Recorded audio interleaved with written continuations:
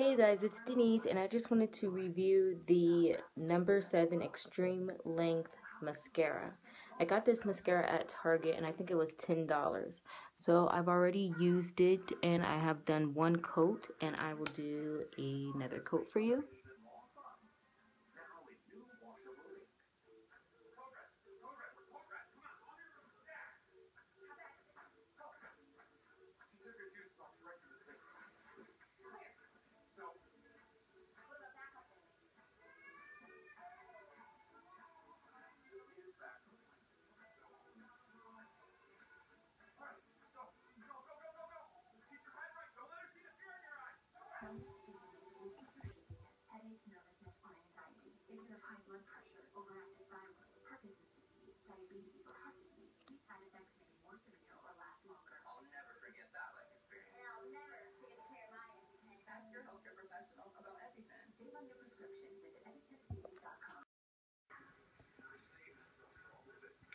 I usually use my mascara as a bottom eyeliner too because I don't uh, really do my bottom eyeliner. So whatever gets on the lash line from the mascara, I usually just leave it.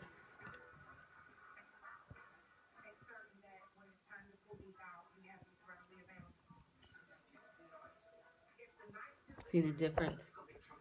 Like this one has the bottom lashes done and this one doesn't. So it did it, it did a little something something because look, you see how it's like worked a little bit. So let's do the other one.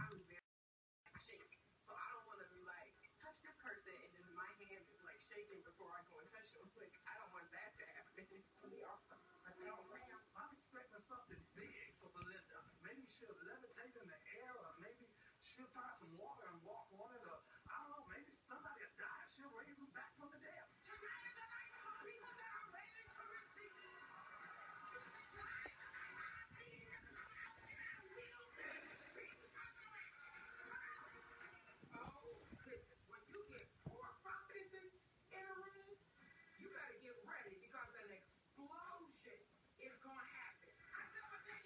So that's the number seven extreme length, supposedly, um, mascara. And you can get this at Target. I got this at Target. I believe it was $9.99. And this is how it came out and how it looks. And like, so for me, I always do like a lot of different coats. Because first of all, I'm just like an amateur when it comes to putting on makeup. So I just figure all women are like this that aren't pros.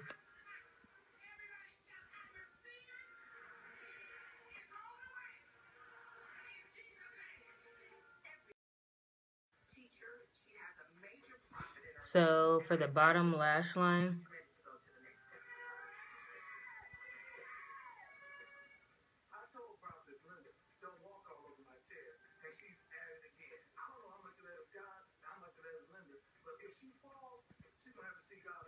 it got darker.